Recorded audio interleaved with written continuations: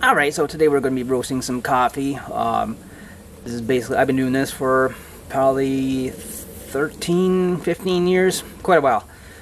So I've got a little bit of uh, know-how on what I'm doing here.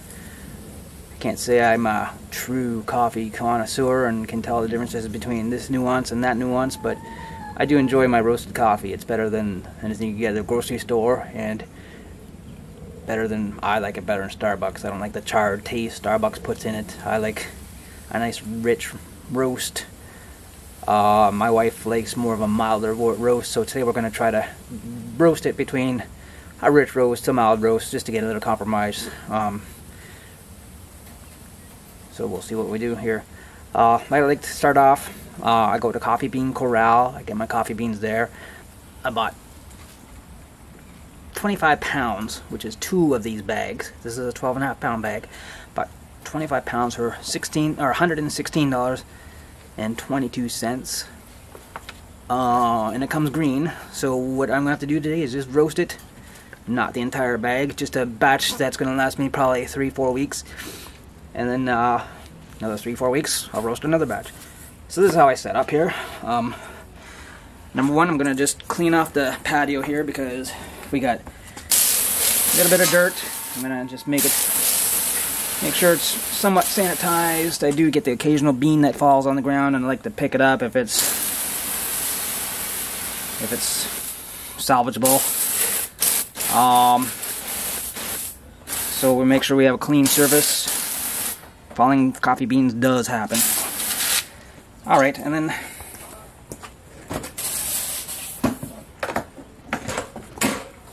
Uh, get your propane tank.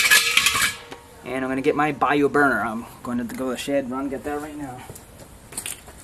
Got my Bayou burner. Now, when I first started this, um, I used a hot air popper.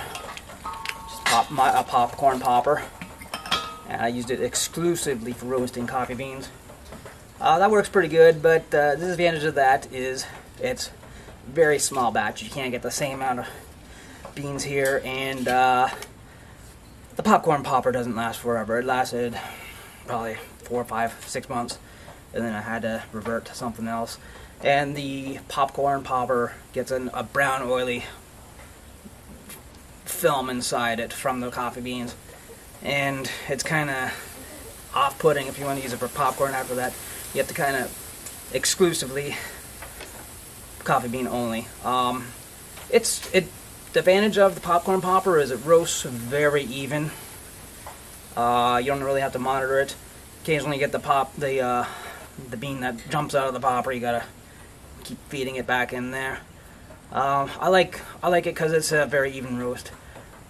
Um, this way it takes a little more work. You gotta babysit this for 30 minutes or so. So, step one is get your Bayou burner. Got some old pans that I've been I've had for years. Don't use them for anything else other than exclusively for coffee. Cheap pans. Reason for the second pan is I like to cover sometimes is to heat up, get the quick heat up on it, or if it starts raining, which it might do today, just kind of just kind of keep it from getting wet. So. Uh, I got an old spatula that uh, now it's a coffee coffee spatula, and uh, I'm gonna pour. I'm gonna start up my burner here.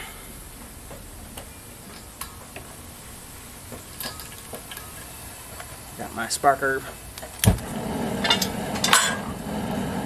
Don't want too much flame on there. It's a brand new bag. I just got it in about a, a couple weeks ago. Pour pour my pour my batch into there. What I think I'm going to cook. Now, when you pour that in, remember that uh, the coffee will expand as it heats up. I'm to put a little more in there, actually.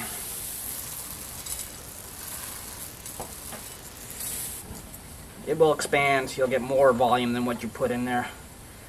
Uh, but at the same time, you're going to lose about 17% sometimes I lose 20% of weight. So if you put two, two and a half pounds of coffee in there, expect about two pounds of coffee. Now this is this is a blend I got from Coffee Bean Corral.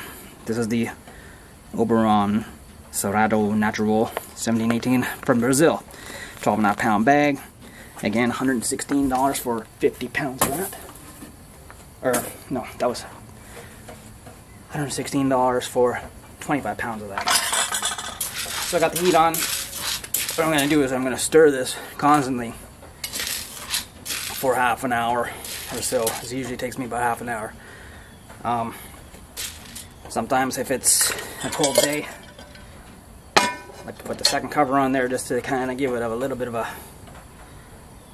little help to get to the right temperature. Um, but I don't keep that on exclusively. It just kind of it sucks having to stir it with the cover on. I won't be using that, but I also use the uh, the second pan for cooling off my my coffee beans at the end of the roast. Um, so I'm just gonna just stir this steadily. see, starting to get a little bit of brown on it. I have to do this in order to get an even roast.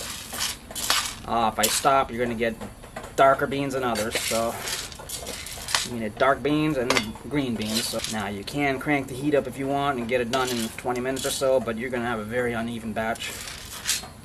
I find a, a good even batch comes from expecting about a half hour of this. So I'll just put a nice low flame on that. Cook it slow and steady.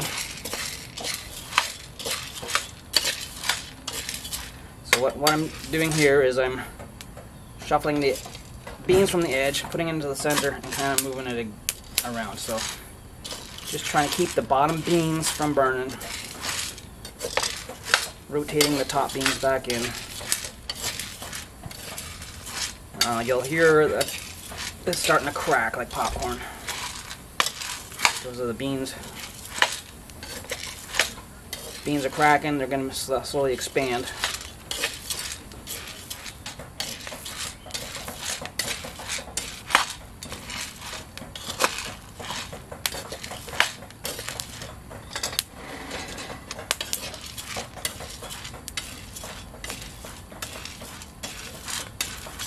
You crack.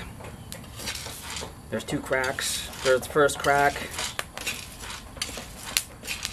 Then that kind of pauses, and then you'll hear the second crack come in. Once it hits the second crack, uh, that's about when you want to stop it. You'll you'll know you'll know when to stop it just by the color you see on it, and there will be an oily, a nice oily sheen on the beans. That's kind of what you're going for trying to get the color that you want and the oily sheen. Uh, once I tried roasting it really dark and I got it really oily and then the top caught fire. so uh, I had to put the second on top of there just to put out that fire. I enjoy a dark roast. My wife did not, so if you want a nice espresso type taste to it, or if you enjoy the Starbucks tar taste, that's what you'll be going for. I just enjoy a nice rich taste, that's all. So on Coffee Bean Corral you can filter your beans out however you like it. You can get, uh, you filter by price, you can filter by the different characteristics in the bean. Uh, I like to get the blends because they seem to be a nice compromise between all the characteristics that I try to go for. Um, like I say, I'm not much of a coffee coffee snob, so I don't I don't really know exactly what to get. Um, went to Jamaica once, and I got the Blue Mountain coffee, and to be honest, I paid a lot of money for that coffee. I could not taste any difference between the coffee I make. Uh, somebody went to Hawaii once and brought me back some Hawaiian coffee. Again, I couldn't tell the difference. This, Now I'm at the point where uh, I can see quite a bit of unevenness in the roast. I see a lot of greens mixed in with a lot of dark, dark beans. Uh, that tells me I'm, I'm, I'm heating it way too fast. So I'm going to turn the heat down to get a nice low flame. Get this cooking evenly. If you're cooking too fast, that's what's going to happen. You're going to get you're going to get a lot of uneven unevenness in your, in your beans. So cook it a little slower. Try to get more even. Now you can already see it starting to expand. Now we've got more volume in here than what we put in there. It's going to expand even more after that. That's what I meant to say. So this is basically what we got here going right now.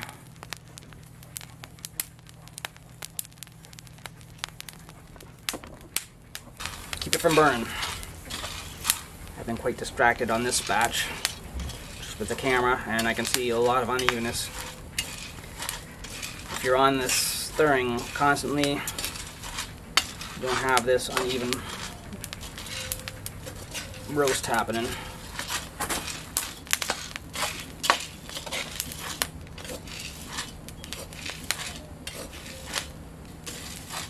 Okay, now I can start to see the green actually starting to turn brown.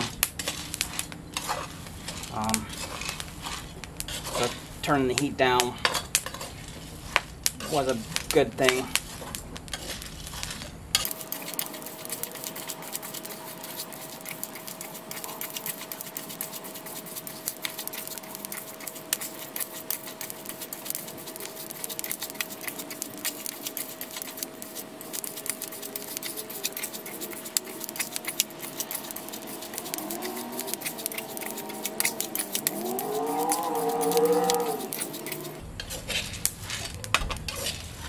Again, if you're not constantly moving this, it will burn.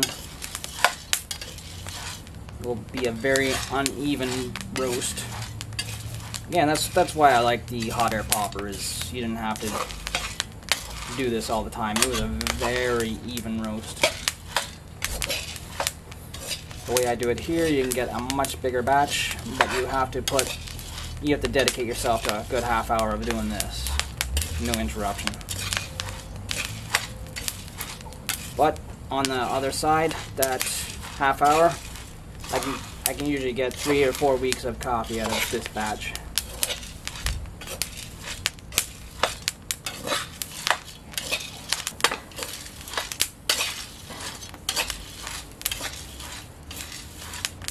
Now some people might think, oh, I can roast this in my oven at home. See all that smoke coming off of that? Yeah not a good idea. This is a very smoky process. That's not a real coffee smell at the moment. It's it's got a it's got a distinct oily, earthy smell to it right here. You're not. It doesn't smell exactly like coffee right at the moment. Uh, do not think you can do this in your oven. If you, if you have an awesome ventilation system, Maybe. That's not something I would do though. Nor is it something I would recommend. Now I've also done something similar on my barbecue top. Uh, that works. I have gotten rid of my barbecue though, and I'm getting rid of my barbecue. I had to get the Bayou burner just so I could cook coffee and other things.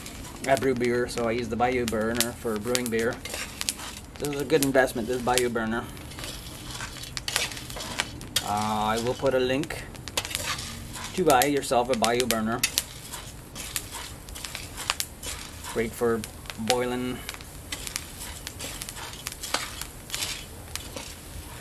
good enough for roasting. I prefer my smoker for making steaks. That's a good steak. So we're about 75 to 80% done here. You can see the, the definite brownness that has that we have achieved.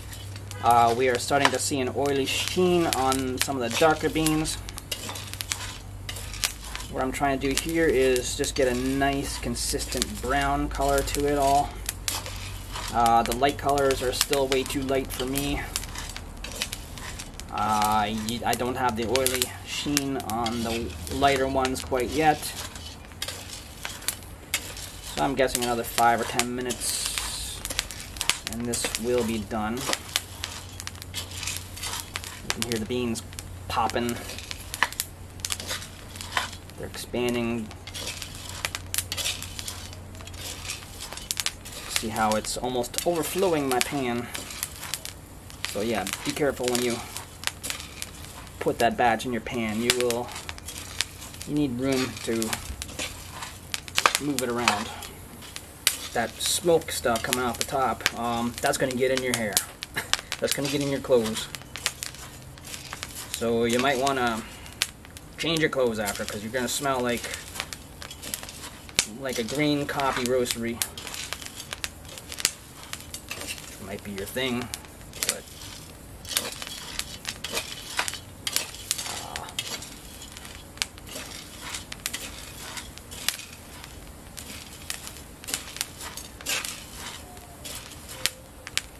you'll come out smelling like this. We're getting to the point where we're almost done. Some of these lighter beans are still way too light for me. I mean, way too light, but yeah, they're they are too light. I notice the roast is not as even as I usually get. I guess I've been a little distracted with the camera equipment.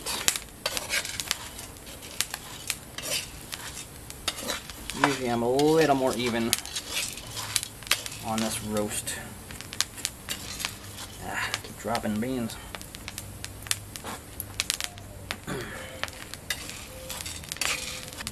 when you've reached what you think is your optimal roast, you want to stop the cooking as fast as you can. Otherwise, it's going to keep cooking inside. Uh, so that's why I have the other pan. It's sitting on the ground right now.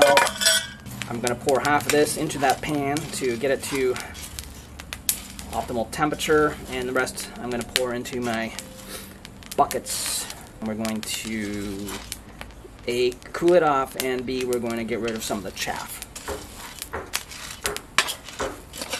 Now chaff isn't a bad thing. Uh, it doesn't affect the taste so much of your coffee, but it will clog up your coffee filter.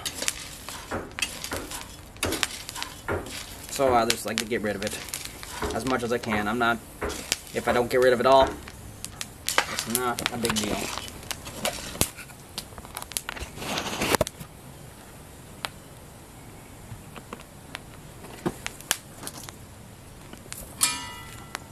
All right, my phone. So my phone just rang, and I got distracted with uh, with a call. So that's that sucks. Happens being on call like that. So let me just hope I didn't burn my roast. Yeah, you got to commit yourself to half an hour here, but uh, yeah, being on call 24 seven.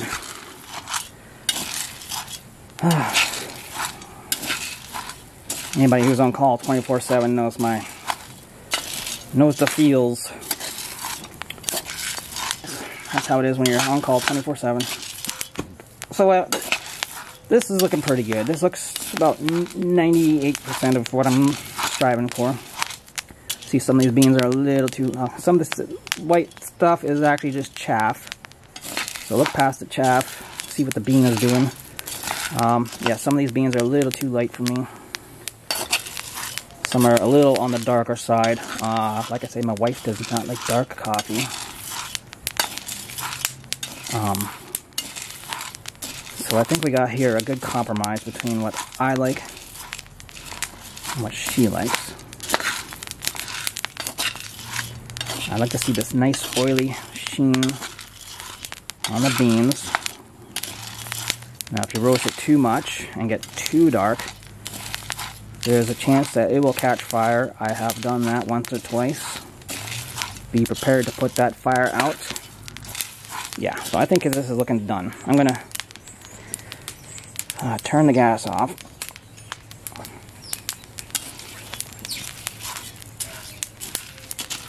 And I'm going to set up my camera. So what we have here is my second pan. Some of these beans are going to go into, into here. About half the beans. Half the beans go into this bucket.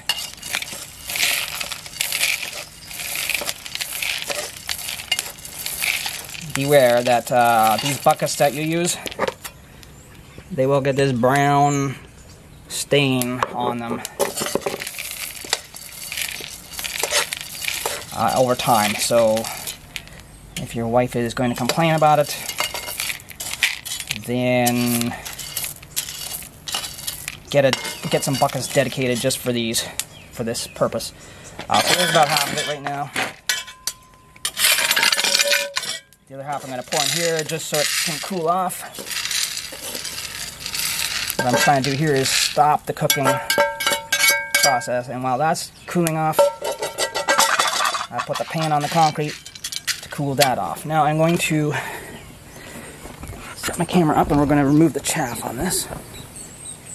Hence the reason for the two buckets. So I'm going to how.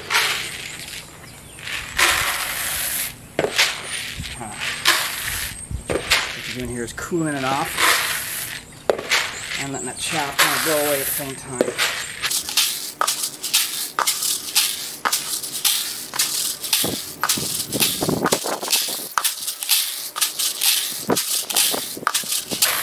So right here, you're trying to stop cooking as fast as you can. Blow off that chaff at the same time. If you've got chaff left in there, don't worry about it.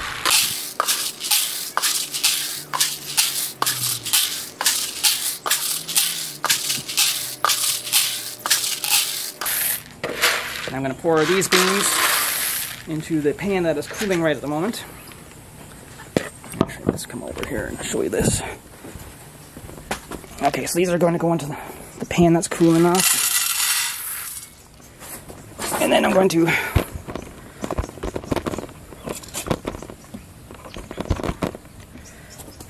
just put these into here.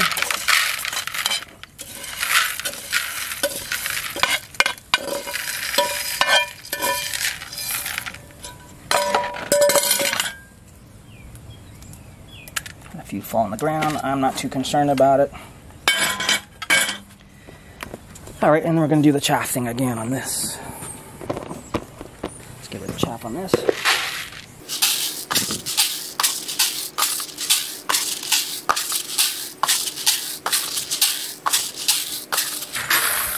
Now it's actually starting to smell like coffee, not just the gas, not the smoke that's coming off of it.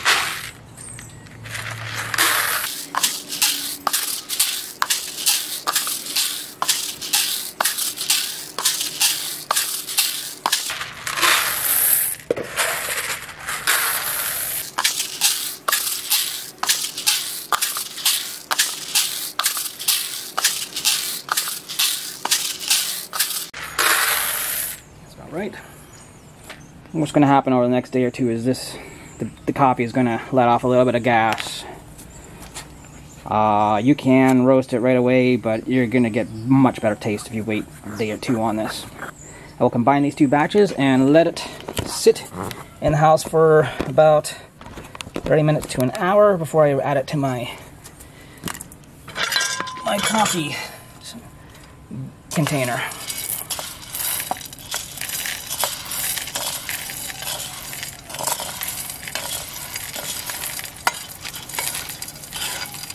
This part is tricky. No doubt about it.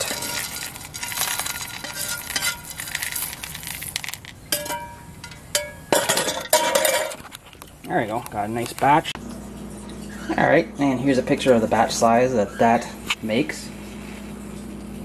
That I roasted, and that should last me about a month.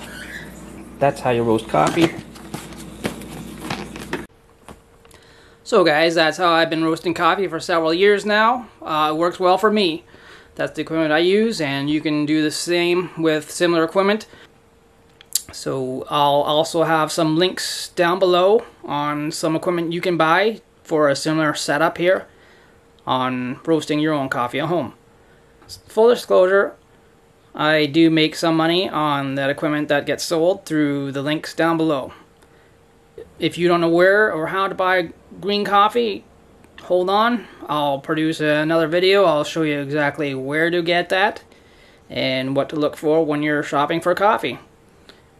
Do any of you guys roast coffee? I'd actually like to hear from you and some input on what you do or what I perhaps should be doing differently to make my coffee roasts go better. Comment below, let me know what you think. Some ways you can encourage and support me with this channel are subscribing, liking this video, commenting below, and sharing with your friends. Comment anything. Do you like it? Do you hate it? I don't care. I'll try my best to reply to you. Stay tuned for my next one of my next videos. Might be my next, might not be, but I'll show you where to buy coffee and other handy things that I do around the house. Thanks. See you again.